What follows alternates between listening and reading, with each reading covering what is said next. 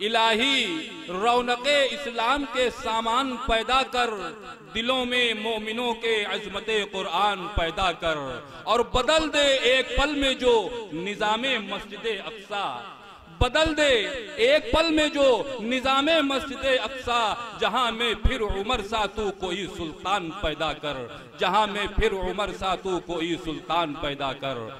آئیے حضرات پرویز عالم یزدانی کے بعد آپ کا ذہن میں اس طرف لے چلوں جس کے لیے آپ حضرات نے یہ پنڈال سجایا ہے۔ یعنی بیان و خطابت کے ماحول میں لے چلوں آپ حضرات کو جہاں زندگی میں گونگوں، خوبیوں سے بھری ہوئی تقریر آپ حضرات کو سماعت کرنے کا موقع ملے۔ اور بیانات اور خطابت کے جو اصول ہیں، مثلا علمی مواد، لب و لہجہ، سنجیدہ و متوازن، کہیں کہیں جذباتی نشیب و فراز سلاست و روانی اور دلوں کو اپیل کرنے کا انداز، الفاظ کا ذخیرہ وغیرہ، یہ خوبیاں بیک وقت موصوف کی خطابت میں آپ حضرات کو ملیں گی۔ جن کے لیے یہ شعر کہنا بیجا نہ ہوگا کہ بلاغت جھومتی ہے ان کے انداز تکلم پر۔ بلاغت جھومتی ہے ان کے انداز تکلم پر لب اعجاز پر ان کے فصاحت ناز کرتی ہے۔ میں نہایت ادب و احترام کے ساتھ حضرت مولانا الحاج محمد سلیم صاحب قاسمی، استاد حدیث، مدرسہ جامعہ عربیہ امداد العلوم سے التماس کر رہا ہوں کہ وہ تشریف لائے اس شعر کے ساتھ کہ رخ دنیا کے ہونٹوں پر کبھی لالی نہیں ہوتی۔ رخ دنیا کے ہونٹوں پر کبھی لالی نہیں ہوتی اور میرے آقا نہیں ہوتے تو خوشحالی نہیں ہوتی ہوتی۔ رخ دنیا کے ہوٹوں پر کبھی لالی نہیں ہوتی۔ میرے آقا نہیں ہوتے تو خوشحالی نہیں ہوتی۔ اور قسم اللہ کی مجھ سے میرا ایمان کہتا ہے۔ قسم اللہ کی مجھ سے میرا ایمان کہتا ہے۔ نہ ہوتا گنبد خضرہ تو ہریالی نہیں ہوتی۔ مائک پر آواز دے رہا ہوں استاد محترم حضرت مولانا الحاج محمد سلیم صاحب قاسمی زید پوری سے۔ بسم اللہ الرحمن الرحیم۔ الحمدللہ۔ الحمد لله نحمده ونستعينه ونستغفره ونؤمن به ونتوكل عليه. ونعوذ بالله من شرور أنفسنا ومن سيئات أعمالنا. من يهدي الله فلا مضل له ومن يضلل فلا هادي له. ونشهد أن لا إله إلا الله وحده لا شريك له. ونشهد أن سيدنا وسندنا ومولانا محمدا عبده ورسوله. صلى الله عليه وعلى آله وأصحابه وأزواجه وذرياته وأهل بيته وأتباعه وخلفائه إلى يوم القيامة وسلم تسليما كثيرا كثيرا. أما بعد فأعوذ بالله من الشيطان الرجيم. بسم الله الرحمن الرحيم. وما أرسلناك إلا رحمة للعالمين. وقال الله تعالى وقضى ربك ألا تعبدوا إلا إياه وبالوالدين إحسانا إما يبلغن عندك الكبر أحدهما أو كلاهما فلا تقل لهما أف ولا تنهرهما وقل لهما قولا كريما. واخفض لهما جناح الذل من الرحمة وقل رب ارحمهما كما ربياني صغيرا. ربكم أعلم بما في نفوسكم. إن تكونوا صالحين فإنه كان للأوابين غفورا. وقال الله تعالى يا أيها النبي قل لأزواجك وبناتك ونساء المؤمنين يدنين عليهن من جلابيبهن. صدق الله العظيم. وقال رسول الله صلى الله عليه وسلم إذا مات الإنسان انقطع عمله إلا من ثلاث صدقة جارية أو علم ينتفع به الناس أو ولد صالح يدعو له أو كما قال عليه الصلاة والسلام. وقال رسول الله صلى الله عليه وسلم سبعة يذلهم الله في ذله يوم لا ذل إلا ذله. الإمام العادل وشاب نشأ في عبادة ربه ورجلان تحابا في الله استمعا عليه وتفرقا عليه. ورجل امرأة ورجلان تحابا فی اللہ استمع علیہ وتفرق علیہ وذکر ورجل ذکر اللہ خالیا ففازت عیناہ الى آخر الحدیث او کما قال علیہ السلام بھئی ہماری گزارش ہے منتظمین جلسہ سے کہ وہ بچوں کا شور ذرا کم کرائیں، ان کو تھوڑی تعدیب دیں اور ان کو تنبیہ کریں کہ خاموش رہیں۔ دوسری گزارش یہ ہے کہ ہمارے بڑے لوگ جو پیچھے کھڑے ہیں، وہ آگے آ جائیں تو اس سے انشاءاللہ بچے پیچھے چلے جائیں گے تو شور خود بخود ختم ہو جائے گا۔ جب اپنے بستر سے اٹھ کے آئے ہو، تو پھر تھوڑا نزدیک آؤ، سامنے آ کر کے بیٹھو۔ جو بات کہی جائے، وہ بات پوری سنے تو سمجھ میں آئے۔ ورنہ عام طور پر صبح آدمی یہ بات کہتا ہے کہ ہمیں رات میں کا کا کہا گوا کچھ ہماری سمجھن میں نہیں آوا۔ ارے کا سمجھ میں آوے۔ آدھی سنت ہو، آدھی نہیں سنت ہو۔ کوئی ادھر گھوم رہا، کوئی ادھر ٹہل رہا، کوئی ہوا بیٹھا، کوئی ہوا بیٹھا۔ کوئی بیڑی پی رہا، کوئی پان کھا رہا، کوئی تمباکو کھا رہا، کوئی مسالہ کھا رہا۔ اس لیے جتنی بھی دیر ہم بیٹھیں، یکسوئی کے ساتھ میں بیٹھیں، توجہ کے ساتھ میں بیٹھیں، ہے نا؟ دل کے ساتھ میں، دل سے ان باتوں کو ہم سنیں۔ جب یہ جذبہ لے کر ہم بیٹھیں گے کہ ہم یہاں پر آئے ہیں تو ہم سنیں گے اور انشاءاللہ عمل کریں گے۔ تو جو بھی باتیں علماء کرام آپ سے کہیں گے یا شعرا حضرات جو پیغام آپ کو دیں گے، وہ آپ کے دل کے اندر اترے گا اور پھر عمل کرنا آسان ہو جائے گا۔ ابھی ہمارے بہت پیارے عزیز قاری پرویز عالم صاحب یزدانی نے اپنے اشعار کے ذریعے سے جو آپ کو پیغام دیا ہے، وہ بہت ہی نصیحت بھرا پیغام ہے۔ یہ کہ ہم سمجھ گئے ہوں اور اگر سمجھ گئے ہیں تو کم سے کم اس کو اپنی زندگی میں اتارنے کی کوشش کریں۔ عام طور پر ایک بات مشہور ہے اور وہ بات ہاں، آہستہ آہستہ ہمارے دماغ اور ہمارے ذہنوں کے اندر بھی بستی چلی جا رہی ہے۔ کیا میں لڑکے کا حافظ ملا بنائے سے کا فائدہ ہے؟ تین، چار ہزار روپیے تنخواہ پئی ہے۔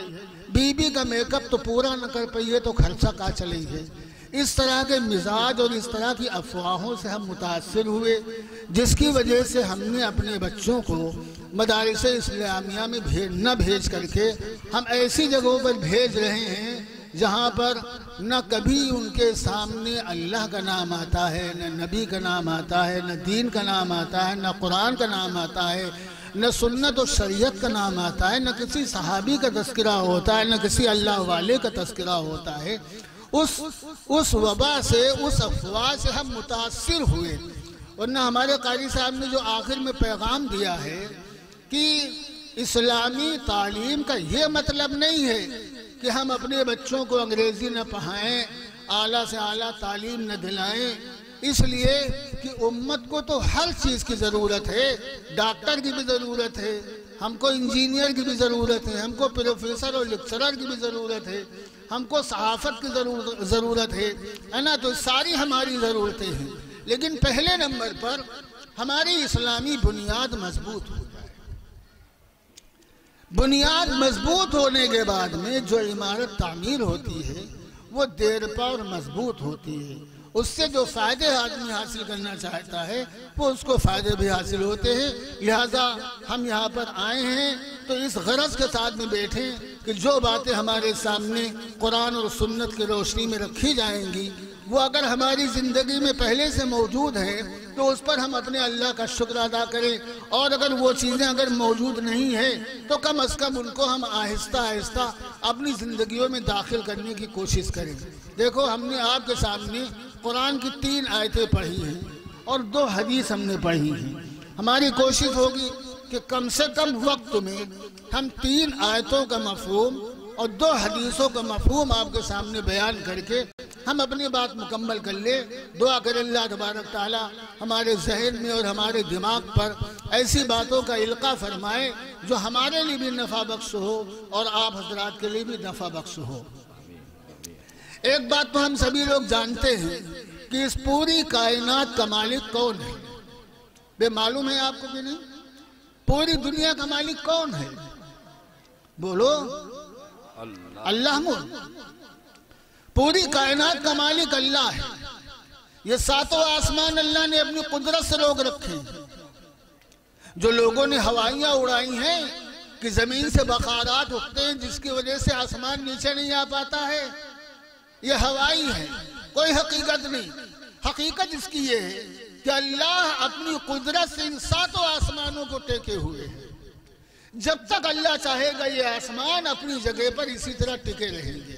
اور جس دن اللہ ان کو توڑنا پھوڑنا چاہے گا، آن کی آن میں، سکن کی سکن میں، روئی کے گالوں کی طریقے سے یہ اڑتے ہوئے پھریں گے سورہ القاریہ کے اندر اللہ تعالیٰ نے ارشاد فرمایا، وَتَكُونُ الْجِبَالِ كَالْعِهْنِ الْمَنْفُوسِ۔ یہ ہمالیہ جیسے پہاڑ، یہ اونچے اونچے بلند پالا پہاڑ، یہ وزنی وزنی پہاڑ۔ اللہ تعالیٰ جس دن چاہے گا تو جس طریقے سے آج کل روئی دھننے والا روئی دھنتا ہے لحاظ بھرنے کے لیے، اور اب تو مشینیں آ گئی ہیں تو اس سے وہ پورے پورے مرغوبے اڑتے ہیں۔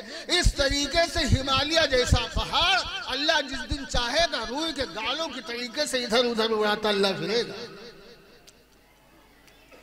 دنیا میں کسی چیز کے مجال نہیں ہے کہ اللہ کا کوئی حکم اس کو ٹالے۔ بس یہ ایک انسان ہے جو اللہ کے نافرمانی پر دن رات تلا ہوا ہے۔ ورنہ سورج کے مجال نہیں ہے کہ بغیر اللہ کی اجازت کے نکلے، سورج کے مجال نہیں کہ بغیر اللہ کی اجازت کے ڈوبے چاند کے مجال نہیں کہ بغیر اللہ کی اجازت کے نکلے چاند کے مجال نہیں کہ بغیر اللہ کی اجازت کے ڈوبے، دن کی مجال نہیں کہ بغیر اللہ کی اجازت کے جائے، رات کی مجال نہیں کہ بغیر اللہ کی اجازت کے جائے۔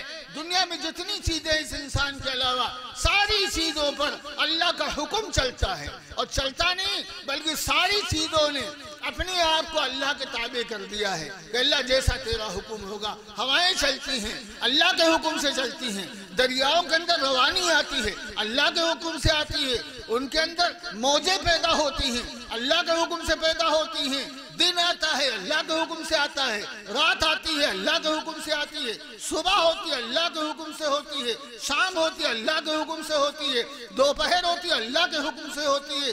انقلابات لے لو نہار۔ اس دنیا میں جو کچھ ہم دیکھ رہے ہیں، سب کے پیچھے اللہ کا حکم کار فرما ہے۔ بغیر اللہ کی اجازت کے، ایک درخت سے سوکھا پتا بھی ٹوٹ کر گر نہیں سکتا۔ اصلی بات تو یہ ہے، حقیقت بات تو یہ ہے کہ ہم یہ لفظ صرف اپنی زبان سے کہتے ہیں، اپنی زبان سے کہتے ہیں کہ اللہ بڑی طاقت والا ہے، اللہ بڑی قدرت والا ہے۔ لیکن حقیقت یہ ہے کہ آج تک اللہ کی طاقت پر اور اللہ کی قدرت پر ہمارا ویسا یقین نہیں بن پایا جیسا ایک ایمان والے کا یقین ہونا چاہیے۔ اگر ہم پر کسی طرح کے کوئی حالات آئے چاہے کاروباری حالات، چاہے بیماری کے حالات، چاہے جیسے حالات، ہمارا دل ڈگر مگر ہونے لگتا ہے، اگر مگر ہونے لگتا ہے، اگر مگر ہونے لگتا ہے۔ کچھ لوگ اس کو سمجھاتے ہیں کہ جا بھیا جاؤ، فلانے بریک نیچے نمک رکھی آؤ تمہارا کام بن جی ہے۔ جا بھیا جاؤ، فلانے ڈھیر پر دودھ چڑھائے آؤ، تمہارا کام بن جائے گا۔ ارے میرے بھائی، کسی درخت کے نیچے جانے کی ہم کو کیا ضرورت ہے؟ کسی ڈھیر پر جانے کی ہم کو کیا ضرورت ہے؟ کہیں پر جانے کی کیا ضرورت ہے؟ اللہ نے اپنے گھر کس لیے بنائے ہیں؟ کوئی حالات آئے، کوئی مصیبت آئے، کوئی بیماری آئے، کوئی پریشانی آئے، کوئی آزاد آزاری آئے، کوئی دکھ آئے، کوئی غم آئے، یہ اللہ کے گھر ہیں۔ آؤ، وضو کرو، دو رکعت نماز پڑھ کر سجدے میں گر کر اللہ کے آگے ذرا بلک کر کے دیکھو، اللہ کے آگے سسک کر کے دیکھو، اللہ کے آگے تڑپ کر کے دیکھو، اللہ کے آگے اپنے آنسو نکال کر دیکھو، اللہ ان آنسو کو لاج رکھے گا۔ لیکن جن دوسرے لوگوں کے آگے ہم تڑپ رہے ہیں، بلک رہے ہیں، کوئی ہمارے آنسو پوچھنے والا نہیں ہے، کوئی ہمیں تسلی دینے والا نہیں ہے۔ جس کے وہاں تسلی ملتی ہے، وہاں جانے کے لیے تیار نہیں ہے۔ اور جہاں ہم کو لوگ لاتے مار رہے ہیں، ان کے ڈھیڑوں میں اور ان کی ٹانگوں کو پکڑنے کے لیے ہم تیار ہیں۔ کہاں ہم نے سمجھا اللہ کی طاقت؟ کہاں ہم نے سمجھا اللہ کی قدرت کو؟ اگر اللہ کی قدرت کو سمجھتے تو ہم اپنے بیمار کا، اپنی مصیبت کا، اپنی مشکلات کا حل اللہ اور اس کے نبی جناب محمد رسول اللہ کی زندگی میں تلاش کرتے آج دنیا میں پیدا ہونے سے لے کر مرنے کے وقت تک ایک انسان کو جتنی ضرورتیں دنیا میں پیش آ سکتی ہیں چاہے کھانے پینے کے اعتبار سے، چاہے مکان کے اعتبار سے، چاہے سواری کے اعتبار سے، چاہے کاروبار کے اعتبار سے، چاہے کھیتی کے اعتبار سے، چاہے کسانی کے اعتبار سے، چاہے باغبانی کے اعتبار سے، جتنی ضرورتیں انسان کو پیش آ سکتی ہیں، ان تمام ضرورتوں کا حل اللہ تبارک تعالیٰ نے ہمارے نبی جناب محمد رسول اللہ صلی اللہ علیہ وسلم کے ذریعے سے اس امت کو دے دیا۔ ہم کو اللہ نے محتاج نہیں بنایا ہے۔ اللہ نے ہماری جیبیں بھر دی ہیں۔ لیکن جب ہم اپنی جیب میں ہاتھ ہی نہ ڈالیں اور دوسرے کے آگے ہاتھ پھیلا رہے ہیں، کون ایسی چیز ہے جو اللہ نے ہم کو نہیں دی ہے؟ کون ایسی چیز ہے؟ ایک صاحب ایک اللہ والے کے پاس پہنچے، کہنے لگے، حضرت دعا کر دیجیے۔ ہم بہت غریب آدمی ہیں۔ تو حضرت نے فرمایا کہ تم غریب آدمی ہو۔ غریب کہاں ہو؟ کہا حضرت، نہ میرے پاس مال ہے، نہ میرے پاس کچھ ہے۔ تو اللہ والے نے فرمایا کہ تم غریب تو نہیں ہو۔ کروڑوں نہیں، اربوں خربوں کے تم انسان ہو۔ تمہاری قیمت اربوں خربوں کی ہے، لیکن تم نہ پہچانو تو اس کا کیا علاج ہے۔ انہوں نے کہا کہ چلو ٹھیک ہے۔ ہم نے مان لیا کہ تم غریب ہو۔ اپنی آنکھیں بیچو گے؟ اپنی آنکھوں کی قیمت بتاؤ۔ بولو، ایک لاکھ لے ہو دو لاکھ لے ہو، پانچ لاکھ لے ہو، دس لاکھ لے ہو، کتنے پیسے لے ہو؟ اپنی ناک کی قیمت بتاؤ، اپنے کان کی قیمت بتاؤ، اپنی زبان میں بولنے کی طاقت کی قیمت بتاؤ۔ ارے، اربوں خربوں روپیے کے نگینے تو اللہ نے تمہارے جسم میں لگا رکھے ہیں۔ پھر بھی تم کہتے ہو کہ ہم غریب ہیں۔ یہ جو نگینے اللہ نے لگائے ہیں، یہ جو کان اللہ نے دیے ہیں، جو ناک اللہ نے دی ہے، جو آنکھ اللہ نے دیا ہے، جو دماغ اللہ نے دی ہے، جو بولنے والی زبان اللہ نے دی ہے، جو پکڑنے والے ہاتھ اللہ نے دیے ہیں، جو چلنے والے پیر اللہ نے دیے ہیں، جو پورا جسم اللہ نے دیا ہے، اس کا صحیح استعمال کر کے دیکھو، اللہ کی رحمتیں اور اللہ کی برکتیں تمہارے گھر میں آئیں گی۔ لیکن جن چیزوں سے اللہ کی رحمتیں اور اللہ کی برکتیں ہمارے گھروں میں آتی ہیں، جن راہوں سے، جن راستوں سے، جن دروازوں سے، ان دروازوں پر تو ہم نے ابلیس کا اور شیطان کا پہرا لگا رکھا ہے۔ تو رحمت کے فرشتے کہاں آئیں گے بات سمجھ میں آ رہی کہ نہیں آ رہی؟ بے پیچھے والن تک آواز پہنچ رہی کہ نہیں پہنچ رہی؟ تو کچھ ہاں نہ ہی بولو آ پتا تو چلے کہ ہم چلا رہے ہیں پھیکر رہے ہیں، تو کچھ لوگوں کی سمجھ میں آ رہا ہے بار لوگ سن رہے ہیں۔ اور کچھ ہاں نہ ہی بھی کہے جاؤ، کچھ موڑو ہلائے جاؤ، کچھ کھوپڑی ہلائے جاؤ کہ ہاں بات صحیح ہے، بات صحیح ہے۔ لوگ اپنی مارکیٹ کا رکھاوے کھاتی چوکی دار رکھا تھا۔ جو رات میں پہرا دے۔ جب تمہاری آنکھیں کھولی تو چوکی دار یہی کہا تھے، جاگت رہے ہو، جاگت رہے ہو، جاگت رہے ہو۔ رات بھرے دس دفعہ آنکھیں کھولی ہیں تو ہر دفعہ یہی آواز، جاگت رہے ہو، جاگت رہے ہو، جاگت رہے ہو۔ تو ایک دن ایک آدمی کہا لگا کہ میں چوکی دار یوں بتاؤ، تم کا پچاس روپے مہینہ دیتا اور کے بعد میں تم یہی چلا تو جاگت رہے ہو، جاگت رہے ہو، جاگت رہے ہو۔ اگر ہم ہن کا جاگت ہوئے، تو تم کا ہمیں پچاس روپے مہینہ کا ہے۔ تو چوکی دار کہا لگا، بھیا، خفا نہ ہو، جاگت رہے ہو، جاگت رہے ہو، جاگت رہے ہو کہ آواز ہم اکے مارے لگاوتن کہ ہم خود جاگت رہیں اگر ہم نے یہ جاگت رہے ہو کہ آواز لگانا اپنے منہ سے بند کر دے تو ہم خود سو جائیں گے۔ تو اسی طریقے سے کبھی ہاں کرو، کبھی موڑ ہلاؤ، کبھی کھوپڑی ہلاؤ، کبھی کچھ کرو، کبھی کچھ کرو، تو یہ پتا تو چلے کہ ہاں آپ جاگ رہے ہو۔ تو ہم اصل میں بات کہہ رہے تھے کہ اس دنیا میں کوئی چیز بغیر اللہ کی مرضی کو ہو نہیں سکتی۔ ہوگا وہی جو اللہ چاہے گا۔ وہی ہونا جو اللہ چاہے گا۔ اللہ کی مرضی کے بغیر کچھ ہونا نہیں ہے۔ یہ ساری چیزیں جو ہمیں نظر آ رہی ہیں، یہ سب اللہ کی سی آئی ڈی ہے۔ ہم جہاں گناہ کریں گے، جس جگہ کریں گے، جہاں اللہ کے نافرمانی کریں گے، جہاں گالی بکیں گے، جہاں کسی کو کسی دوسرے کو برا بھلا کہیں گے قیامت کے دن یہ ساری جگہیں ہمارے خلاف گواہی دیں گے اور اللہ سے کہیں گے کہ اللہ، یہ شخص میری پیٹ پر چلتا تھا، اس نے فلاں جگہ پر، فلاں تاریخ کو اتنے بج کر، اتنے منٹ پر تیری نافرمانی تھی ہم جھٹلا نہیں پائیں گے۔ اللہ کی یہ ہزارہ نعمتیں ہیں جن کا ہم استعمال کر رہے ہیں۔ کروڑوں کی تعداد میں نعمتیں ہیں جن کا ہم استعمال کر رہے ہیں۔ آنکھوں میں اللہ نے دیکھنے کی وہ طاقت ادا فرمائی ہے کہ اپنے پیر بھی دیکھ رہے ہیں جو بہت نزدیک ہیں اور اس سے نزدیک ہاتھ بھی دیکھ رہے ہیں اور اتنا اونچا آسمان بھی نظر آ رہا ہے۔ دنیا میں کوئی ڈاکٹر آج تک ایسا پیدا نہیں ہوا جو کسی اندھے کی آنکھوں میں بینائی پیدا کر دے، جو پیدائشی اندھا ہے۔ جو اندھا پیدا ہوا ہے، اس کی آنکھوں میں دیکھنے کی طاقت دے دے، کوئی ڈاکٹر پیدا نہیں ہوا۔ نہ ہندوستان میں، نہ امریکہ میں، نہ دنیا کے کسی ملک میں۔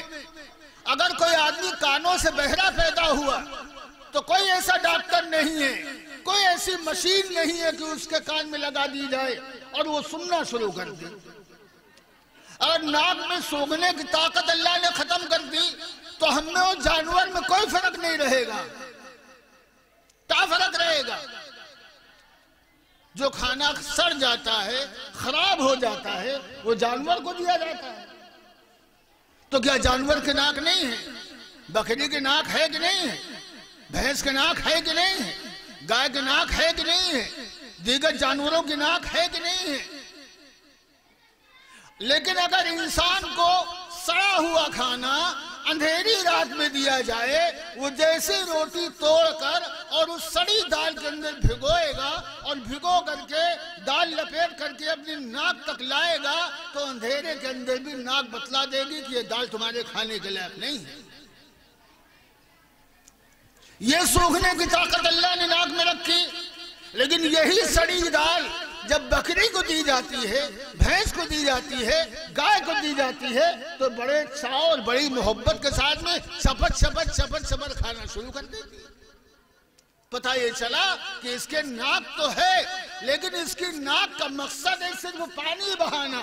جو ناک بند کر کے دماغ سے پانی نکلتا ہے، جانور کے ناک سے وہ پانی نکلے گا۔ لیکن انسان کی ناک میں اللہ نے جو طاقت اور جو صلاحیت رکھی ہے سوہنے کی، سمجھنے کی اور چیزوں کے اندر تمیز کرنے کی، یہ صلاحیت انسان کے علاوہ کسی کی ناک کے اندر نہیں ہے۔ مختلف طرح کی عطر کی شیشیاں آپ کے سامنے پیش کی جائیں، آپ سونگتے جائیں گے۔ یہ بیلا ہے، یہ شمامہ ہے، یہ امبر ہے، یہ مشک ہے، یہ خس ہے، یہ جنت الفردوس ہے۔ کیا پچاس میل کی ناک ہے کیا؟ کہ جنت الفردوس سونگے کو تو ایمہ لگاؤ، اور شمامہ سونگے کو تو ایمہ لگاؤ، اور خس سونگنا تو اس میں لگاؤ۔ ناک ایک ہے۔ لیکن پھر بھی اللہ نے اس ناک کے اندر وہ قدرت رکھی ہے کہ چیزوں کو سونگ سونگ کر بدلا دیتی ہے یہ پپرمین کا تیل ہے، یہ گری کا تیل ہے، یہ کڑوا تیل ہے، یہ میٹھا تیل ہے، یہ کھٹا تیل ہے، یہ فلاں تیل ہے، ساری چیزیں جو بتلا رہے وہ ناک سونگ سونگ کر کے بتلا رہے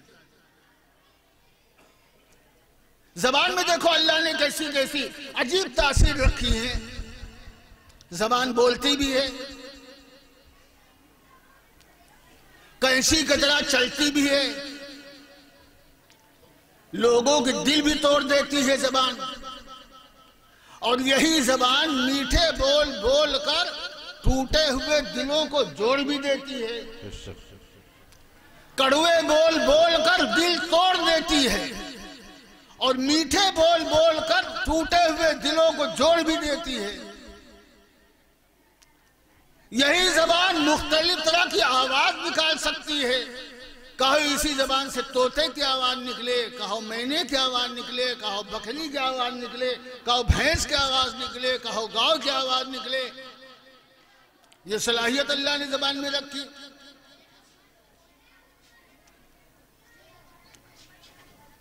ساتھ ساتھ میں گھروں میں کھانا پکتا ہے۔ یا شادی بیاہ میں بہت سے لوگ کھانا پکاتے ہیں۔ نمک دیکھنا ہے تو زبان پر رکھو، کڑوا دیکھنا تو زبان پر رکھو، گرم دیکھنا تو زبان پر رکھو، میٹھا دیکھنا تو زبان پر رکھو، کھٹا دیکھنا تو زبان پر رکھو۔ جو بھی چیز بناؤ، زبان میں اللہ نے مختلف طرح کی صفات پیدا کی۔ کہ جس چیز کو تم زبان پہ رکھو گے، وہ بتلائے گی کہ کالی مرچ زیادہ ہے۔ اس میں نمک کم ہے، اس میں مرچا زیادہ ہے، اس میں فلاں چیز کم ہے، اس میں خوشبو کم ہے، اس میں خوشبو زیادہ ہے۔ جس چیز کے آزمانا چاہو، زبان کو اوپر رکھو۔ ایک ہی زبان ہے، کوئی پچاس زبانیں نہیں ہے ایک زبان ہے۔ لیکن چیزوں کا ذائقہ، مختلف چیزوں کا ذائقہ بتلا رہی ہے۔ اب یہ اللہ کی نعمت کیا کوئی کم ہے؟ تو بیش بہا نعمتیں ہیں۔ لا تعداد نعمتیں ہیں۔ اللہ نے قرآن میں ایک موقع پر فرمایا، وَإِن تَعُدُّ نعمت اللہ لا تحصوها۔ کہ میرے بندے، میں نے تجھ پر اتنی نعمتیں کی ہیں، اتنی میں نے اپنی نعمتوں کا نزول کیا ہے کہ اگر تو ان کو گننا چاہے گا، تو گنتیاں ختم ہو جائیں گی، کمپیوٹر فیل ہو جائیں گے کلکولیٹر فیل ہو جائیں گے، حساب جوڑنے والے عاجز ہو جائیں گے، لیکن پھر بھی میری نعمتوں کا شمار نہیں کر پائیں۔ گے اللہ میں، دنیا میں اللہ کی انسان کے علاوہ بھی اور مخلوق ہے جانور ہیں، اڑنے والی چڑیا ہیں، زمین میں رہنے والے کیڑے ہیں۔ مختلف مخلوقات اللہ کی ہیں۔ لیکن ان تمام مخلوق میں اللہ تعالیٰ نے سب سے حسین اور سب سے خوبصورت انسان کو بنایا ہے۔ سورہ تین کے اندر اللہ نے ارشاد فرمایا، لَقَدْ خَلَقْنَا الْإِنسَانَ فِي أَحْسَنِ تَقْوِيمٍ کہ میرے بندے، ہم نے تم کو بہترین سانچے میں ڈھالا ہے۔ اتنا ہی خوبصورت اللہ کی کوئی مخلوق نہیں۔ بہترین سانچے میں اللہ نے ہم کو ڈالا اب ڈھالنے کا مطلب کیا ہے؟ انسان جب پیدا ہوتا ہے، لڑکا ہو یا لڑکی ہو تو ایک بالست کا، نو انچ کا یا بارہ انچ کا، پھر بڑھنا شروع ہوتا ہے۔ لیکن اللہ کی قدرت دیکھو کہ انسان بڑھتا تو ہے۔ ہم بھی جب پیدا ہوئے تھے، تب وہ اتنے ہی بڑے تھے۔ آپ بھی پیدا ہوئے تو وہ اتنے ہی بڑے تھے۔ لیکن آج اتنے لمبے ہو گئے، پانچ فٹ کے، چار فٹ کے۔ لیکن ہمارا جسم بڑھا، ہر چیز برابر نہیں بڑھی۔ بات سمجھ رہے ہو جو ہم بتلا رہے ہیں؟ ہر چیز برابر نہیں بڑھی۔ جب پیدا ہوئے تھے تو ہماری انگلی کتنی بڑی تھی۔ اس کے آدھی ہو آدھی ہوں گی اس کی؟ آج ہم ساٹھ سال کے ہو گئے تو ڈبل ہو گئی۔ لیکن جب پیدا ہوئے تو تو ہمارا ہاتھ کتنا بڑا تھا؟ اس حساب سے دیکھو، تو ہاتھ کے ہاتھ کا بڑھنا الگ ہے، انگلی کا بڑھنا الگ ہے، پیروں کا بڑھنا الگ ہے، سینے کا اور پیٹ کا بڑھنا الگ ہے، سر کا بڑھنا الگ ہے، آنکھوں کا بڑھنا الگ ہے، ناک کا بڑھنا الگ ہے ہوٹوں کا بڑھنا الگ ہے۔ اگر ساری چیزیں برابر برابر بڑھتی، جیسے کھیت کے اندر گیہوں ہو یا دھان ہو یا کوئی بھی غلہ ہو، وہ جب نکلتا ہے تو برابر ہی برابر پورا کھیت آپ کو بالکل برابر نظر آتا ہے۔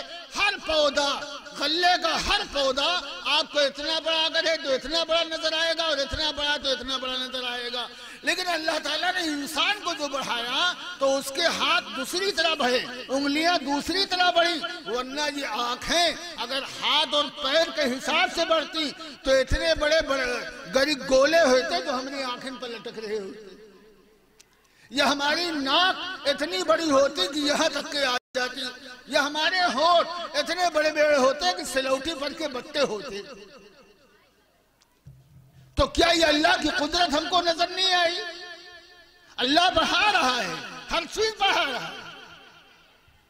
لیکن اپنے حساب سے، کیوں؟ اگر ساری چیزیں برابر، سرابر بڑھائی جاتی تو پھر انسان خوبصورت نہ رہتا۔ ذرا سے کان چھوٹا ہو گیا اگر کسی آدمی کا، اس کے قد کے حساب سے تو ایک باپ اپنے لڑکے سے کہتا ہے کہ بھیا، جاؤ عبدالعزیز کنبچے بلائے لاؤ عبدالعزیز کنبچے کا کنبچے کا مطلب چھوٹے کان کا اور اگر ذرا سے کان بڑے ہو گئے، تو بہن جاؤ عبدالعزیز، کون ابا عبدالعزیز؟ ہاتھی کان والے، ہاتھی کان والے۔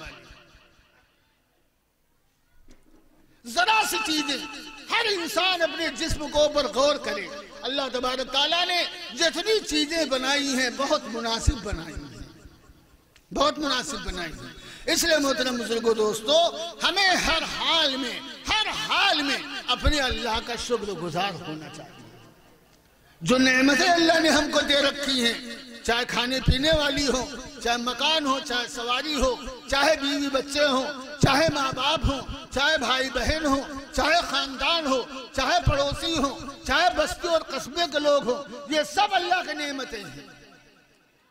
اللہ نے فرمایا لَإِن شَكَرْتُمْ لَعَزِيدَنَّكُمْ وَلَإِن كَفَرْتُمْ إِنَّ عَذَابِي لَشَدِيد کہ میرے بندو، میری دی ہوئی نعمتوں کا اگر تم شکر ادا کرو گے، تو تمہاری نعمتوں میں دن بدن ہم اضافہ کریں گے۔ دن بدن بڑھاتے رہیں گے۔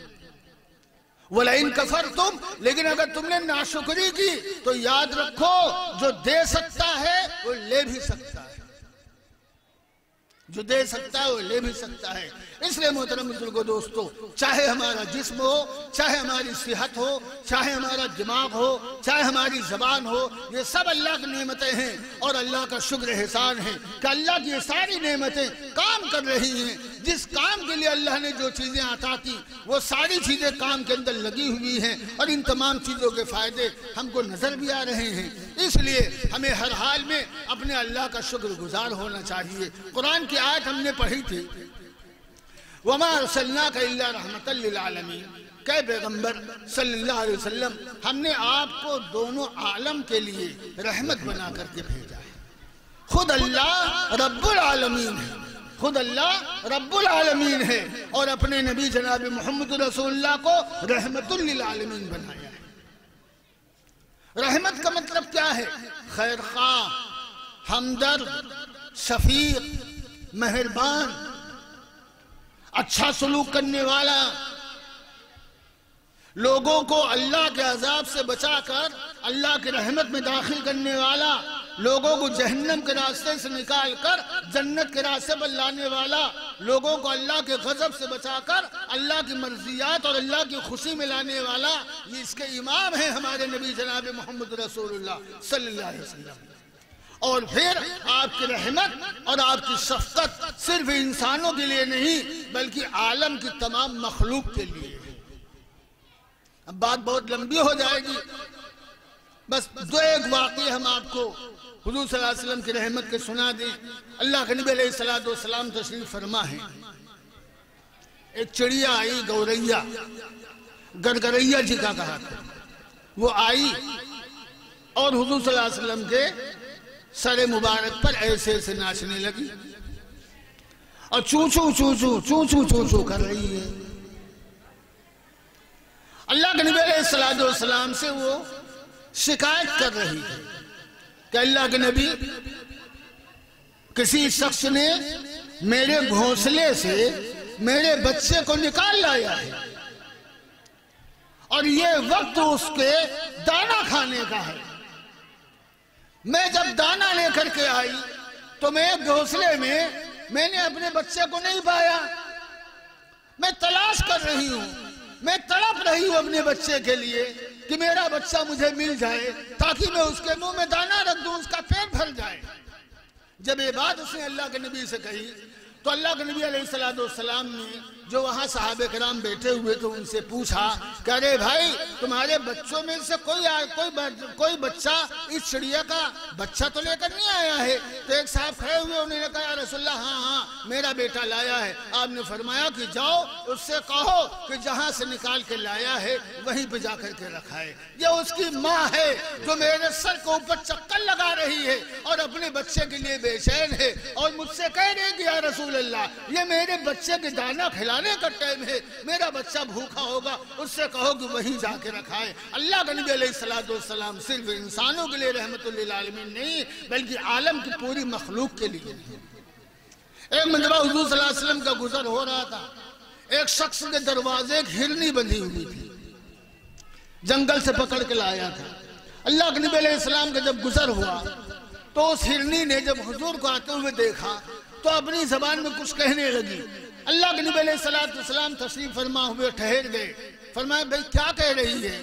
تو اس نے اپنی زبان میں جو کہا اور مترجمین نے جو اس کا ترجمہ لکھا ہے، اس نے کہا کہ، یا رسول اللہ، میرے بچے کو کوئی پکڑ کر کے لے مجھ کو اس مکان والے نے پکڑ لیا ہے اور میرا بچہ جنگل میں اس وقت مجھے ڈھونڈ رہا ہوگا۔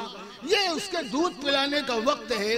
میں بے چین ہوں، بے قرار ہوں اپنے بچے کے لیے، اور میرا بچہ بے چین اور بے قرار ہوگا اپنے بچے میں میرے لیے۔ اے اللہ کے نبی، میں آپ سے وعدہ کرتی ہوں کہ آپ مجھ کو کھول دیجیے۔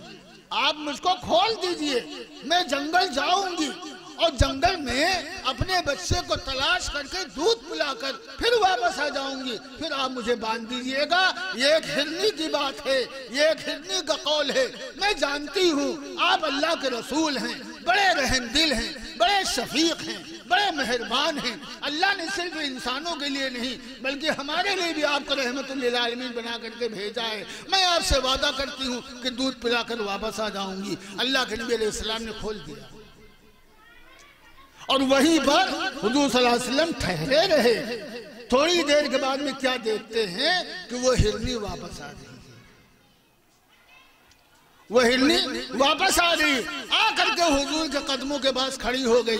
اللہ کے نبی علیہ السلام نے ان گھر والوں کو بلایا اور فرمایا ان سے کہ بے ہرنی کو تم پکڑ کے لائے ہو۔ کہنے لگے ہاں یا رسول اللہ، میں پکڑ کر کے لایا تھا۔ تو آپ نے فرمایا، اس کو چھوڑ دو۔ اس نے مجھ سے ایک وعدہ کیا تھا، اس وعدے کو اس نے پورا کر دیا۔ چھوڑ دو اس کو۔ حدیث کی کتابوں میں لکھا ہے کہ جس وقت اللہ کے نبی علیہ السلام کے کہنے سے اس شخص نے ہلنی کی رسی کھولی ہے تو تھوڑی دور جاتی تھی اور گھوم کر کے پھر پیچھے حضور صلی اللہ علیہ وسلم کو دیکھتی تھی، پھر جاتی تھی، پھر پیچھے دیکھتی تھی، پھر جاتی تھی، پھر پیچھے دیکھتی تھی، برابر گھوم گھوم کر دیکھتی رہی جب تک حضور صلی اللہ علیہ وسلم نظر آتے رہے۔ رحمت نہیں آپ صلی اللہ علیہ وسلم ہمارے لیے بھی رحمت ہے، امت کے لیے بھی رحمت ہے، اللہ کی ہر مخلوق کے لیے رحمت ہے۔ ایک باغ سے آپ کا گسر ہو رہا تھا باغ میں اونٹ بندھا ہوا تھا اس اونٹ نے جب دیکھا حضور صلی اللہ علیہ وسلم کو، تو بل بلانے لگا۔ آپ صلی اللہ علیہ وسلم اس کے بعد تشریف لے گئے۔ اس کے سر پر، اس کی گردن پر ہاتھ پھیرا۔ جیسے ہم لوگ اپنے پالتو جانوروں کو ہاتھ پھیرتے ہیں، تسلی دیتے ہیں، تو آپ صلی اللہ علیہ وسلم نے اس اونٹ کی گردن پر اور منہ پر ہاتھ پھیرا۔ اس اونٹ نے محبت کی وجہ سے اپنی گردن حضور کے قدموں میں ڈال دی۔ پھر کہنے لگا، یا رسول اللہ، میں ان گھر والوں کا پالتو اونٹ ہوں۔ میرے باپ بھی اور میرے دادا میرے دادا اور میرے باپ اسی گھر میں پیدا ہوئے تھے۔ میں بھی اسی گھر میں پیدا ہوا ہوں۔ میرے باپ اور دادا ان کی خدمت کرتے کرتے دنیا سے رخصت ہو گئے۔ اب میں جب جوان ہوا تو میں نے ان کی خدمت کرنا شروع کی۔ اور آج جب میرے پیرو گھٹ گئے ہیں، میں کمزور ہو گیا ہوں۔ اب بوجھ اٹھانے کے لائق نہیں رہا ہوں۔ تو گھر کے لوگ میری طرف توجہ نہیں کرتے۔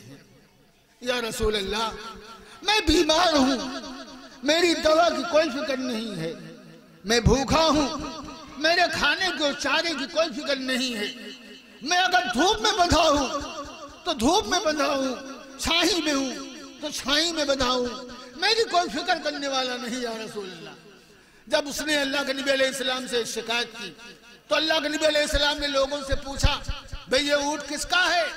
تو لوگوں نے کہا، فلاں صاحب کا ہے۔ تو اللہ کے نبی نے فرمایا تو بلاؤ ان کو۔ جب وہ آئے تو اللہ کے نبی نے فرمایا تمہارا اونٹ ہے۔ کہنے لگا جی یا رسول اللہ، میرا اونٹ ہے۔ تو آپ نے فرمایا کہ تمہارا اونٹ شکایت کر رہا ہے ہم سے۔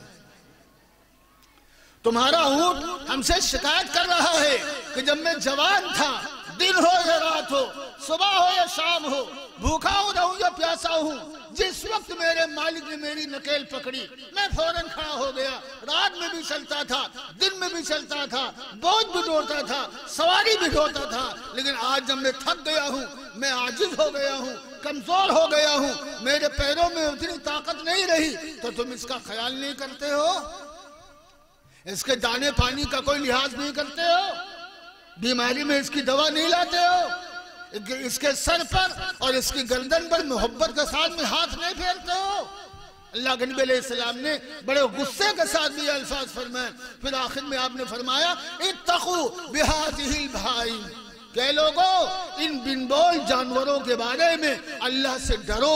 اگر ان کو تم پال، تم کو پالنے کا شوق ہے، تو ان کی جو ضرورتیں ہیں، ان کے جو تقاضے ہیں، ان کو پورا کرو۔ ورنہ کل قیامت کے دن یہ تمہارا یہ تمہارا گریبان پکڑیں گے اللہ کے سامنے کہ اللہ اس نے مجھے پالا، لیکن وقت پر چارہ نہیں دیا، وقت پر دوا نہیں کی، وقت پر علاج نہیں کیا۔ یہ اپنے بچوں کو تو دلار اور پیار کرتا تھا، لیکن اس نے کبھی میری پیٹ پر ہاتھ نہیں پھیرا میری گردن پہ ہاتھ نہیں پھیرا۔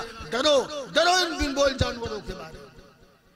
پھر آگے اللہ کے نبی علیہ السلام نے فرمایا کہ سنو سنو، کل قیامت کے دن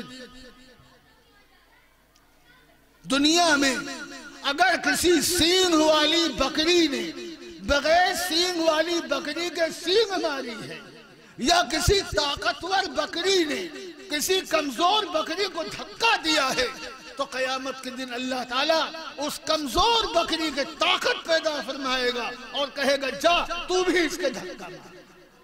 اس بغیر سینگ والی کے اللہ تعالیٰ قیامت کے دن سینگ پیدا کرے گا۔ پھر اللہ فرمائے گا، دنیا میں اس نے تجھے سینگ ماری تھی، جا، تو بھی اس کو سینگ مار. تو جب اللہ تعالیٰ قیامت کے دن جانوروں کا بدلہ دلائے گا، تو اگر ہم نے کسی پر ظلم کیا اور ہم نے کسی کا حق مارا اور طاقت کے بلبوتے پر ہم نے لوگوں کو دھکے دیے۔ طاقت کے بلبوتے پر ہم نے لوگوں کو گالیاں بکی طاقت کے بلبوتے پر ہم نے کام کیے۔ تو کیا کل قیامت کے دن یہ کمزور، یہ مظلوم ہمارا غریبان اللہ گواہ نہیں پکڑے گا؟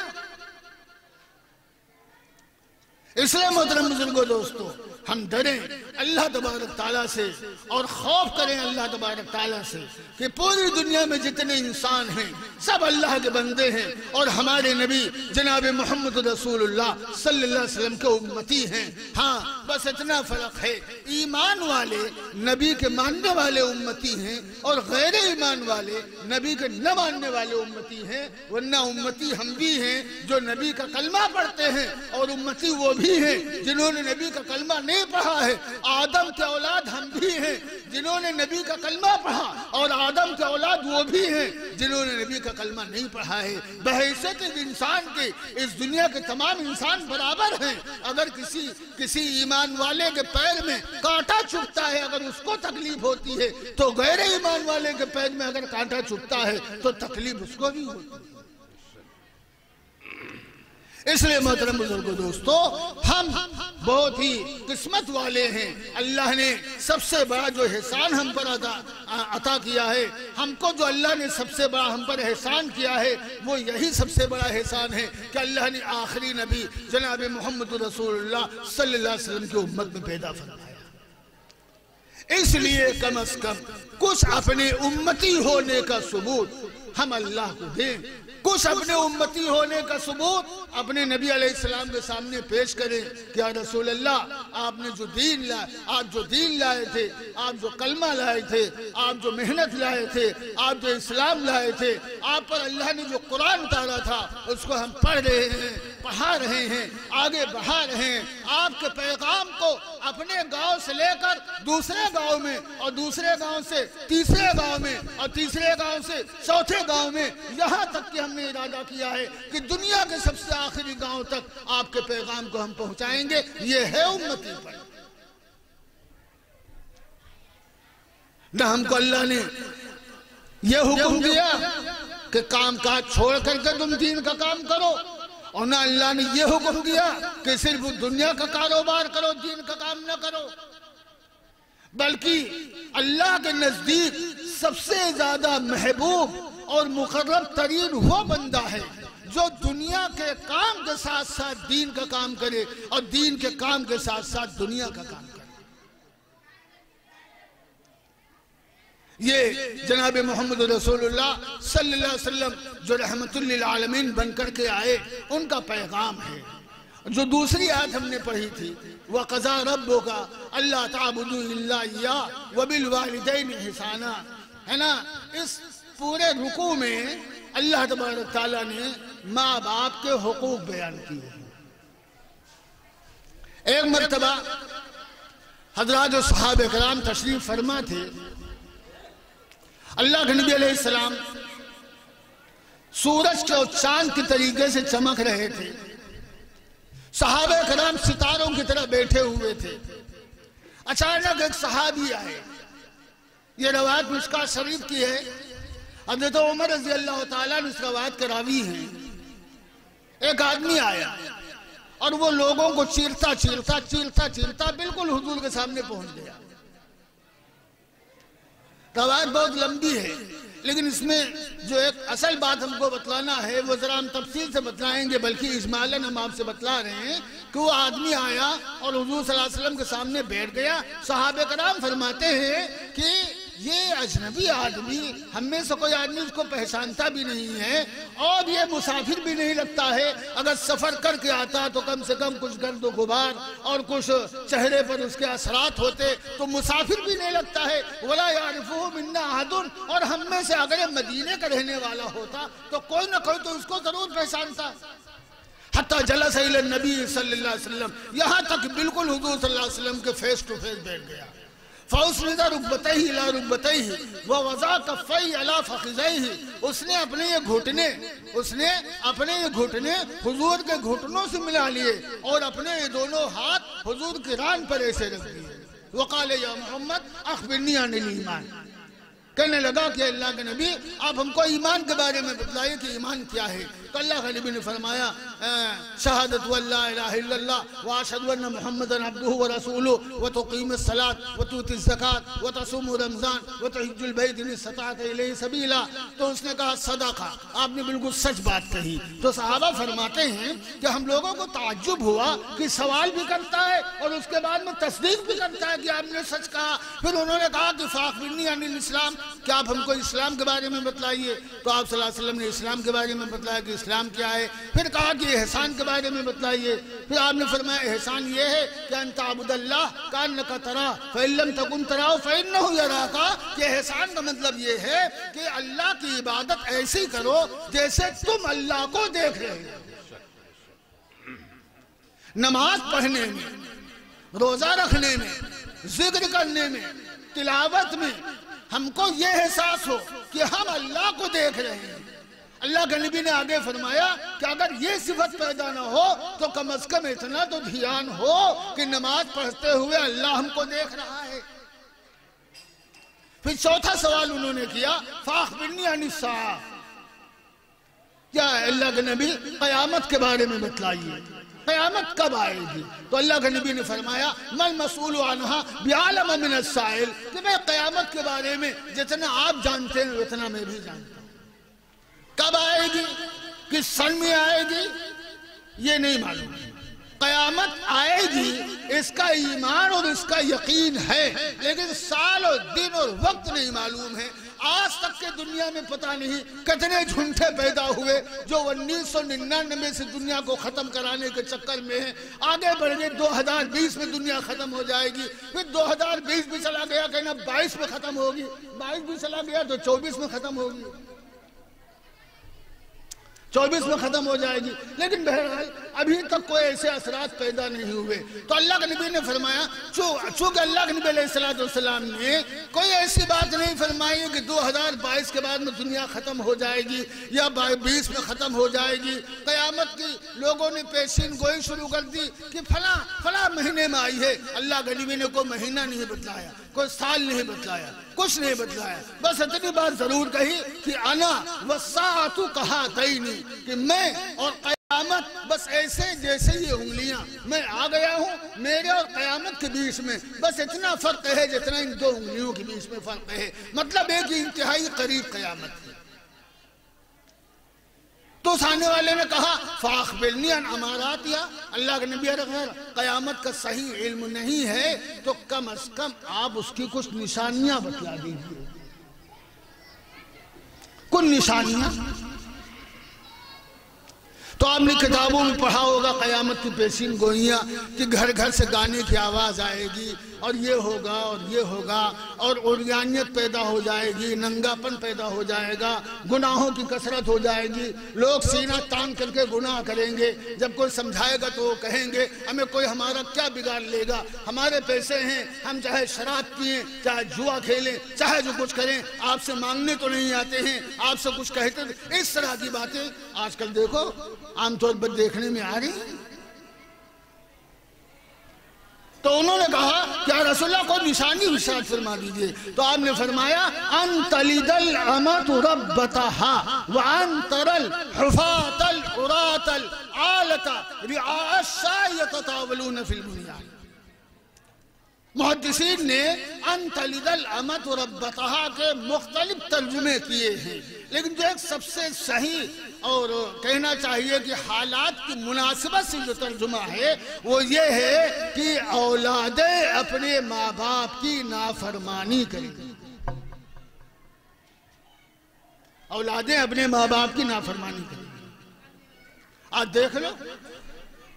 جون آدمی سلام کرو بھیا، سلام علیکم، وعلیکم السلام۔ او خیریت بتاؤ۔ ہمیں کہا بتاؤ بھیا بل لڑکن سے عاجز ہے کوئی سنتا ہی نہیں، کوئی منتا ہی نہیں۔ سب اپنی اپنی مرضی مالک چاہے جتنا کہا، کوئی سماتے نہیں کرا۔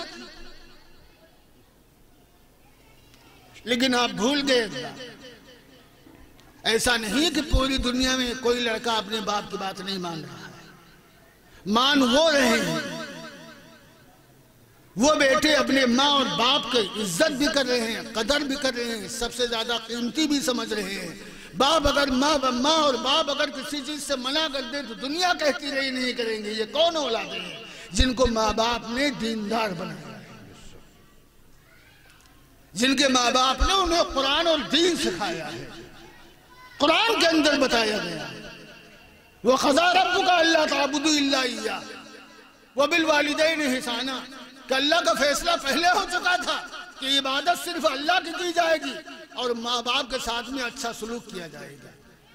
اما یبلغن عندک الکبر احدهما او کلاهما ان دونوں میں سے ماں باپ یا دونوں میں سے ایک کوئی بڑھاپے کو پہنچے تو فلا تقل لهما اف تو ان کی کسی بات پر کلمے اف تک نہ کہنا۔ جیسے ہم لوگ بعض وقت کہہ دیتے ہیں، او پھو اما تم تمہار خود مار آجیزے نہیں، او پھو کہنے کی اجازت نہیں۔ کوف کہا جائے، ولا تنہرہما۔ ماں باپ کو ڈانٹ کر کے بات نہ کی جائے۔ ہاں ہاں موقع ملی تو کل لبا نے ہم کو ٹھیکہ نہیں لیتا کس سے کہہ رہے ہو؟ اپنے باپ سے۔ جس نے تم کو چلنا سکھایا، جس نے تم کو بڑا کیا اپنا پیٹ کاٹ کاٹ کر کے تمہارا پیٹ بھرا۔ عید کے اندر خود پرانے کپڑے پہن کر تم کو نئے کپڑے پہنا ہے یہ ڈانٹ کر کے اس ماں سے بات کر رہے ہو۔ جس ماں نے نو مہینے تک تمہارا بوجھ اٹھایا، دو سال، ڈھائی سال تک کے تم کو دودھ پلایا، تمہارے جسم پر تیل ملا، تم کو کھڑا کیا، تم کو نہلاتی رہی، دھلاتی رہی، کاجل لگاتی رہی، تیل لگاتی رہی، تم کو چومتی رہی، چاٹتی رہی۔ اپنے جسم سے لگا کر تمہارے جسم کو گرمی دیتی رہی۔ اس ماں سے ڈانٹ کر کے بات کر رہے ہو۔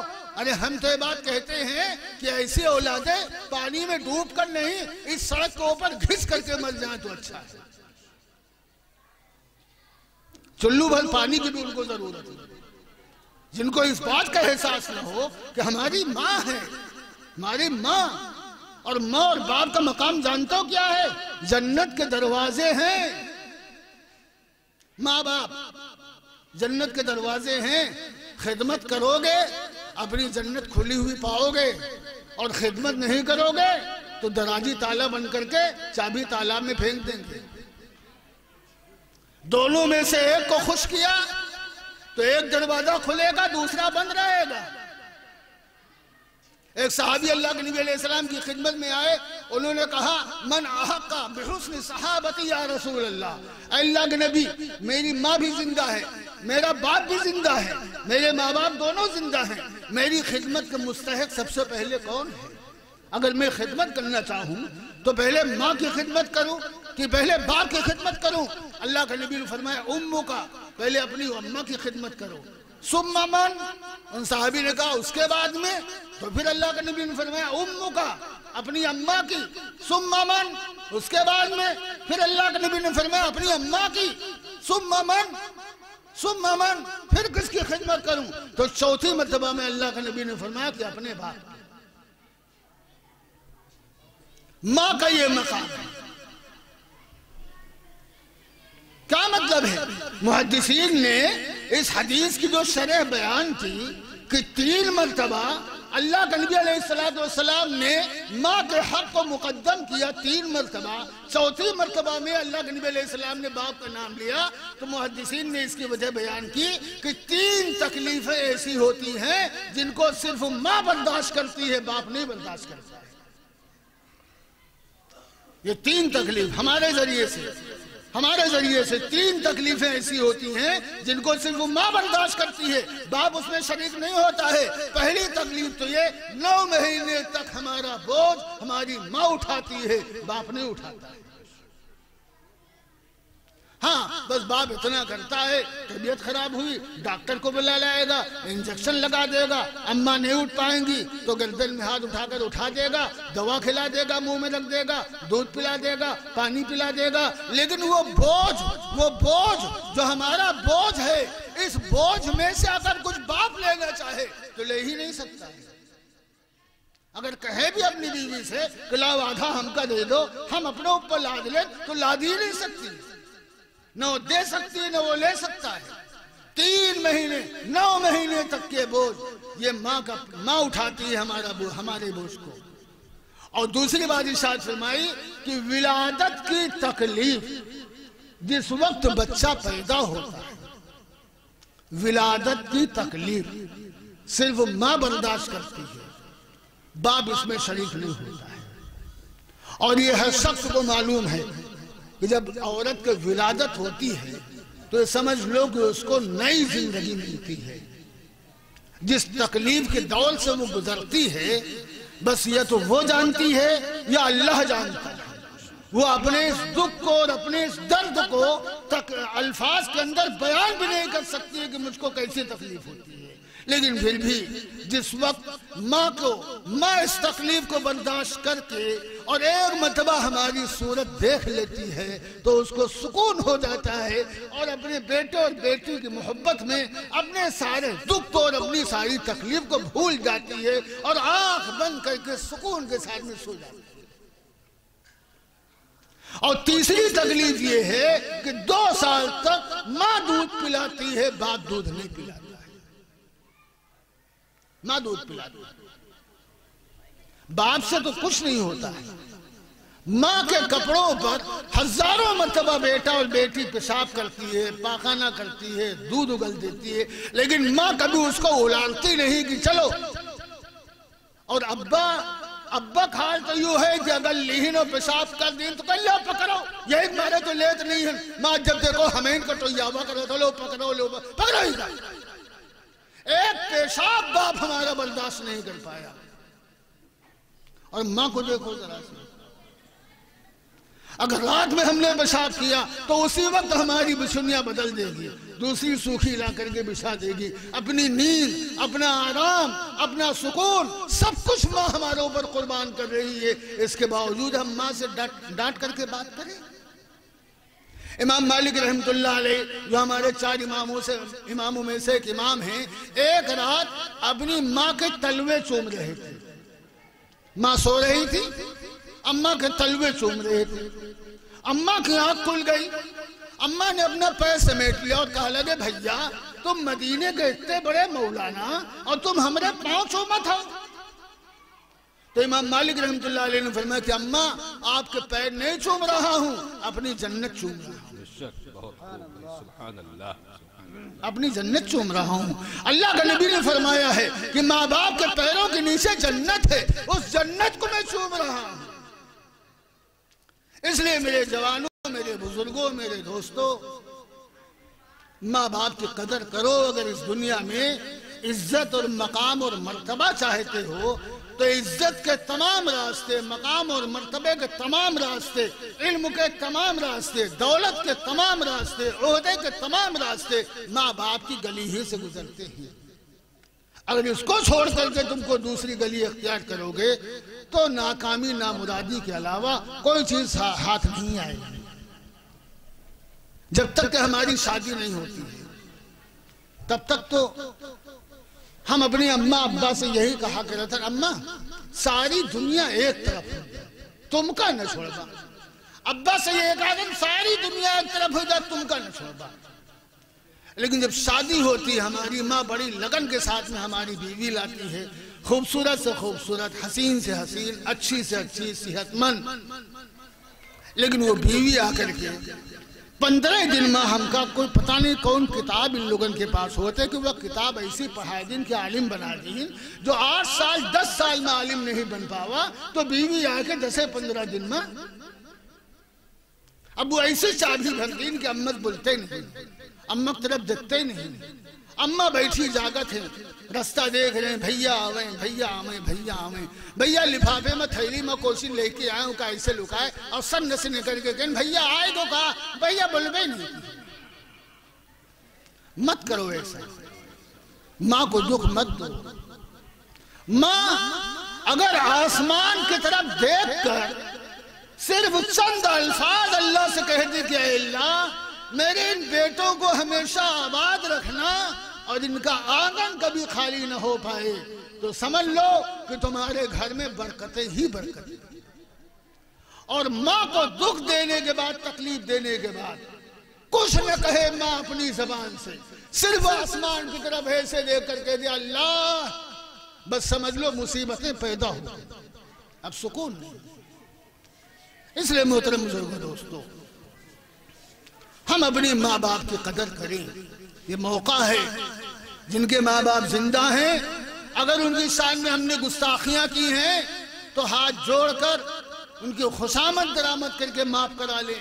اور اگر ماں باپ کا انتقال ہو چکا ہے تو قبرستان جا جا کر کے ان کی قبر پر حاضری دے اور ان کو سلام کریں اور کچھ قرآن پڑھ کر، کچھ صدقہ کر کے، کچھ نیک کام کر کے، دو رکعت نماز نفل پڑھ کے ان کے نام سے احسان ثواب کریں تو وہ دکھ جو ہم نے ماں باپ کو دنیا میں دیے تھے، اگر ان کی طرف سے کچھ نیک کام کرنا ہم شروع کریں گے تو اللہ کی ذات سے امید ہے کہ قیامت کے دن ہماری ماں جب ان ہمارے بھیجے ہوئے اعمال کو دیکھیں گی تو اللہ سے شکایت نہیں کریں گی اور اللہ کے دربار میں ہم سے مطالبہ نہیں کریں گے۔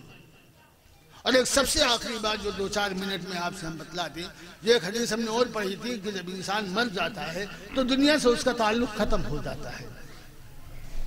اس میں صرف ایک بات کہنا ہے صدقت جاریت او علم ينتفع به الناس او ولد صالح يدعو له، کہ مرنے والا اپنے پیچھے کوئی اپنی اولاد ایسی چھوڑ جائے۔ جو اس کے مرنے کے بعد اس کے لیے دعائیں مغفرت کرے قرآن پڑھے، قرآن پڑھائے، یہ سلسلہ قیامت تک چلتا رہے۔ قبرستان جا کر اپنے ماں باپ کی قبروں پر، دادی دادا کی قبروں پر، نانی نانا کی قبروں پر حاضری دے۔ ان کو سلام کرے۔ ایسی نیک و صالح اولاد ہو۔ یا اپنے پیچھے کوئی ایسا علم چھوڑ کر کے جائے جیسے علماء کرام نے بڑی بڑی کتابیں لکھی ہیں اور ان کی شروحات لکھی ہیں۔ اہل علم حضرات بھی اور آپ بھی مان لو، عام لوگ جو ہیں جیسے ہماری ہر مسجد میں تقریباً فضال اعمال تبلیغ نصاب جس کو کہا جاتا تھا، یا مولانا صاحب صاحب کی وہ کتاب ہے، منتخب حدیث ہیں، یا حیات الصحابہ ہیں۔ ان جیسی کتابیں لکھی ہیں جن کو پڑھ کر کے لوگ نماز کے اور روزے کے مسئلے جان رہے ہیں۔ تو جتنے لوگ اس کتاب کو پڑھیں گے جتنے لوگ اس کتاب سے علم حاصل کریں گے، حضرت شیخ الحدیث مولانا زکریہ رحمۃ اللہ علیہ کو ان کا بدلہ ملتا رہے گا۔ دو چیزیں ہوئی اور آخری چیز جو صدقہ جاریہ ہے۔ تو صدقہ جاریہ کا سنتے ہی آپ کے ذہن کے اندر ایک بات آئی کہ مسجدیں بنوانا ہے نا؟ مسجدیں بنوانا یا غریبوں کی مدد کرنا یا کسی نالے کو اوپر پل بنا دینا یا اس طریقے سے کوئی ایسا کام یا کہیں پانی کی ضرورت ہے، وہاں بمبے لگوا دینا، کنواں کھدوا دینا، اس طرح کی چیزیں تو صدقہ جاریہ میں عام ہیں۔ لیکن ایک چیز ہم آپ سے بطور درخواست کے کہہ رہے ہیں۔ کہ دیکھو، صدقہ جاریہ کا ایک مفہوم یہ بھی ہے کہ آج سے پینتیس، چالیس سال پہلے کا ماحول کچھ اور تھا۔ جس میں ضرورت تھی دینی تعلیم اور دینی مدارس کی۔ چانچہ الحمدللہ ہماری قوم کے لوگوں نے بڑے بڑے مدرسے بنوائے، بڑے بڑے علماء پیدا ہوئے۔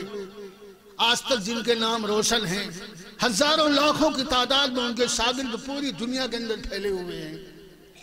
لیکن موجودہ وقت میں کچھ تبدیلی ہے۔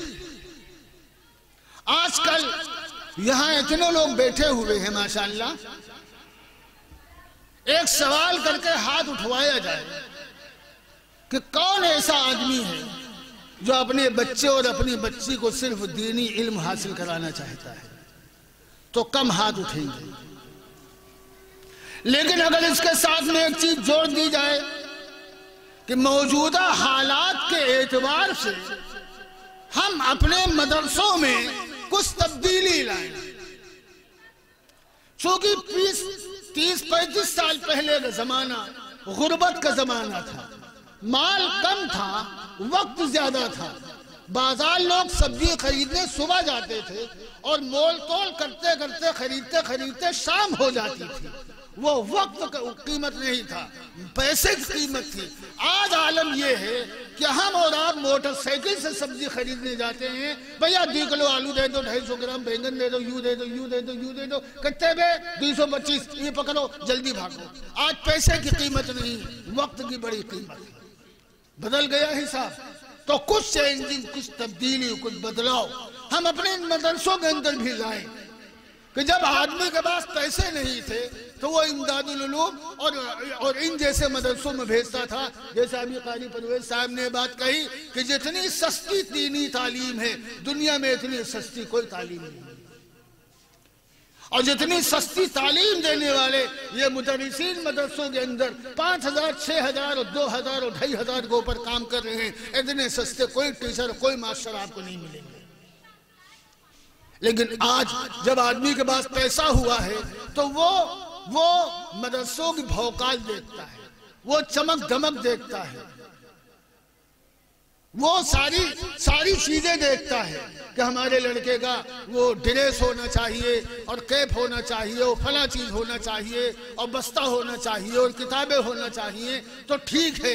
حضرت مولانا علی میاں رحمت اللہ علیہ نے ایک موقع پر فرمایا تھا کہ صدقہ جاریہ یہی نہیں ہے، بلکہ یہ بھی صدقہ جاریہ ہے کہ اپنے مدارس میں ہم ایسا انتظام کریں اور پڑھائی کا ایسا نظم قائم کریں جس سے قصبے اور گاؤں اور علاقے کے لوگ ہمارے مدرسوں کی طرف راغب ہوں، اچھے پڑھانے والے، ایک نمبر کے پڑھانے والے لوگ ہوں، ان کو اچھی سے اچھی تنخواہیں دی جائیں، ماہر ہو اپنے فن میں، انگریزی پڑھانے والا، ٹوٹا پھوٹا نہ ہو، کہ چلو کام چل جی ہے اے بی سی ڈی پڑھا لے، نہیں انگریزی پڑھانے والا ماہر ہونا چاہیے، میتھ پڑھانے والا ماہر ہونا چاہیے، سائنس پڑھانے والا ماہر ہونا چاہیے، ہے نا؟ یہ ماہر قسم کے لوگ اپنے مدرسوں میں رکھے جائیں، ان کو اچھی تنخواہیں دی جائیں اللہ پر اعتماد اور اللہ پر بھروسہ کر کے ہم یہ کام شروع کریں۔ دیکھو اللہ اپنی مدد کرے گا اور ہمارے سارے تقاضے اللہ تعالیٰ پورے کرے گا۔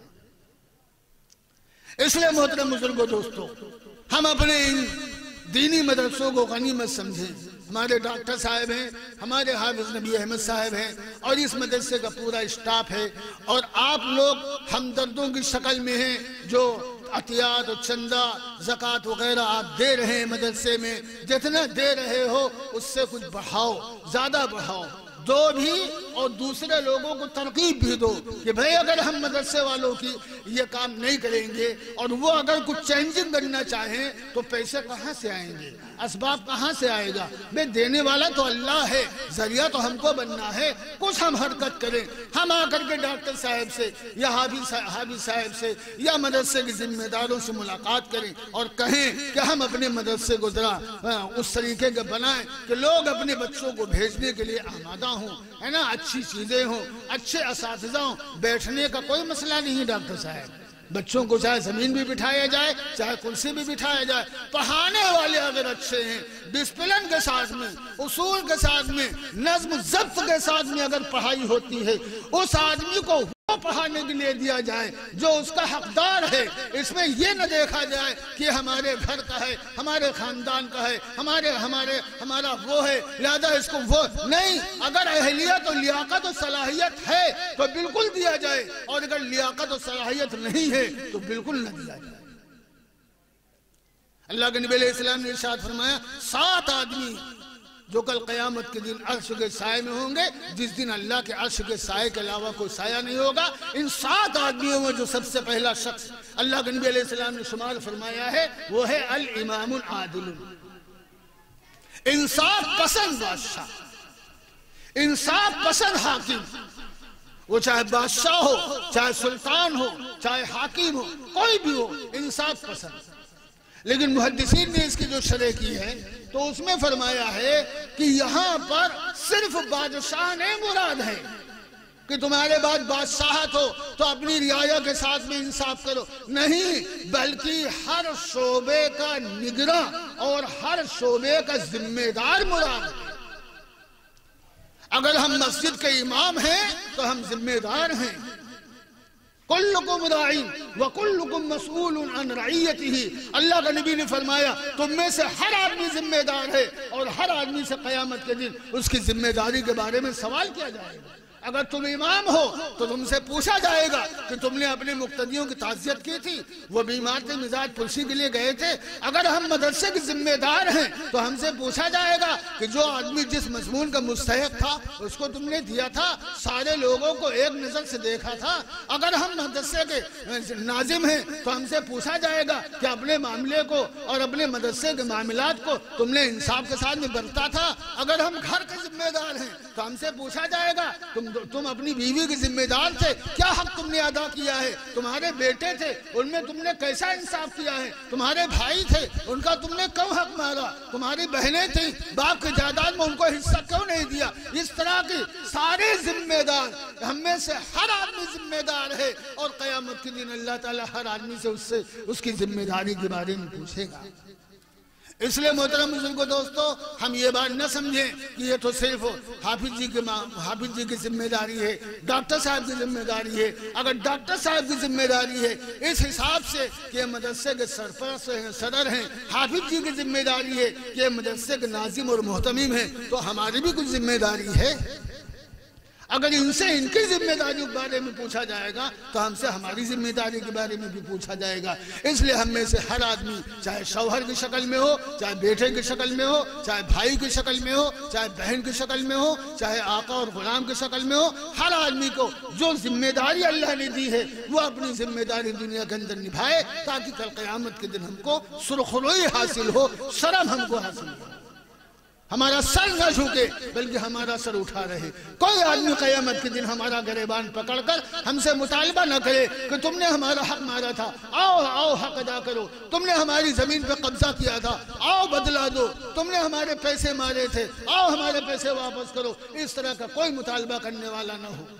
ہم اپنے سارے معاملات، ساری چیزیں جب دنیا سے جائیں تو صاف کر کر جائیں اس لیے بس ہم اپنی بات ختم کر رہے ہیں۔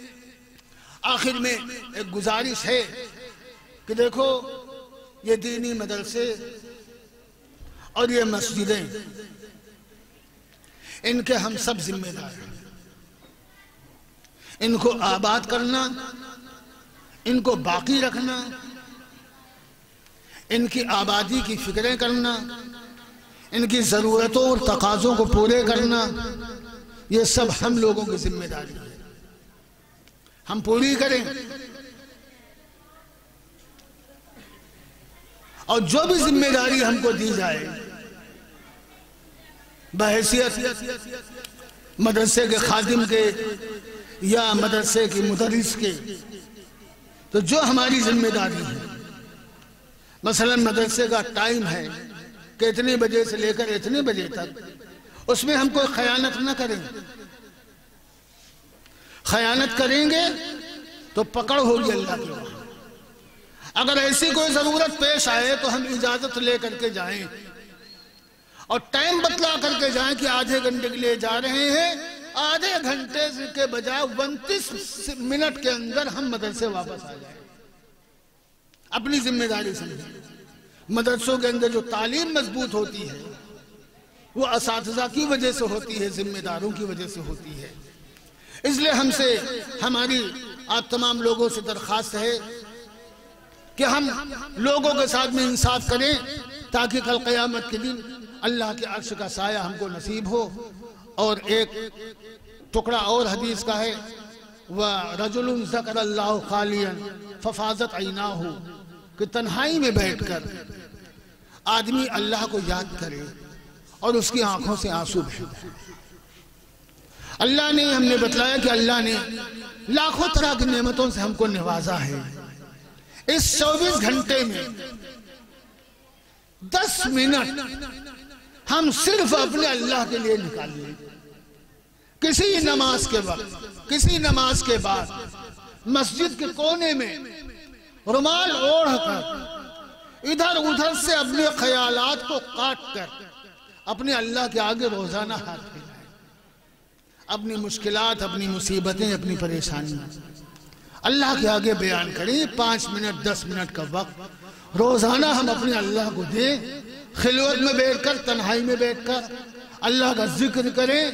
اور اتنی خصیت کے ساتھ میں، اتنی کہنا چاہیے کہ محبت اور چاہت کے ساتھ میں کہ ہماری آنکھوں سے آنسو جائے جائے پھر دیکھو جو دعائیں ہم مانگتے ہیں، اللہ تعالیٰ انہیں کیسے قبول کرتا ہے؟ بس ہم اپنی بات ختم کرتے ہیں۔ اللہ تعالیٰ سے دعا کرتے ہوئے کہ اللہ تعالیٰ جتنے لوگ یہاں پر آئے ہیں، اللہ تعالیٰ ان سب کی ایک ایک حاجت کو اللہ تعالیٰ قبول فرمائے۔ جو ان کی جائز حاجتیں ہیں، جتنے بھی دنیا میں مدارس ہیں، مساجد ہیں، ان کی آبادی کے افراد اور افراد اللہ تعالیٰ پیدا فرمائے۔ ہماری تمام ضرورتوں کو اللہ تعالیٰ پوری فرمائے۔ جتنے مسلمان مرحومین اس دنیا سے رخصت ہوئے ہیں، ہماری اہلیہ مرحومہ ہیں، ہمارے قاری صاحب کی اہلیہ مرحومہ ہیں، اور ہمارے والدین ہیں، اور آپ سارے لوگوں کے گھروں میں سے جن جن لوگوں کا جن کا انتقال ہوا ہے، ان سب کے اللہ تعالیٰ مغفرت فرمائے، سب کے قبروں کو نور سے منور فرمائے، اور ہمارے وہ تمام اساتذہ جنہوں نے ہم کو بنایا، سجایا، سنوارا، سکھایا سب کچھ کیا۔ ہمارے شیوخ ہیں، ہمارے پیر ہیں، ہمارے اساتذہ ہیں، ہمارے محسنین، محبین ہیں۔ اللہ تعالیٰ ان تمام مرحومین کی مغفرت فرمائے۔ سب کے قبروں کو اللہ تعالیٰ نور سے منور فرمائے۔ کروٹ کروٹ سب کو اللہ تعالیٰ چین و سکون نصیب فرمائے۔ وآخر دعوانا ان الحمدللہ رب العالمین۔